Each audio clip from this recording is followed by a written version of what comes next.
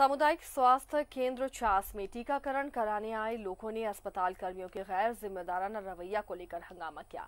सुबह में लोग टीका लेने पहुँचे। लोगों को पहले लाइन लगाकर आधार जमा करने को कहा गया। आधार जमा करने के बाद सिर्फ़ 10 लोगों को टीकाकरण किए जाने की बात कही गई। इसका लोगों ने विरोध किया। बाद में अस्पताल के डीपीएम के आश्वासन के बाद टीकाकरण शुरू होने पर मामला शांत हुआ। जब लाइन लगाए ना एक नंबर में हम ही। थे तो बोला कि इसे दस आदमी का पहले से लगा हुआ है। कल है से यहाँ वैक्सीन सी एस के माध्यम से कम वैक्सीन आया था कुछ वैक्सीन यहाँ भेजा गया है और वैक्सीन यहाँ स्टार्ट होगा और आम पब्लिक को बोला गया है कि हम सोशल डिस्टेंसिंग हम मास्क लगा के बैठे रजिस्ट्रेशन किया जा रहा है रजिस्ट्रेशन के बाद सबको वैक्सीन दिया जाएगा नहीं नहीं नहीं ऐसा बात नहीं है।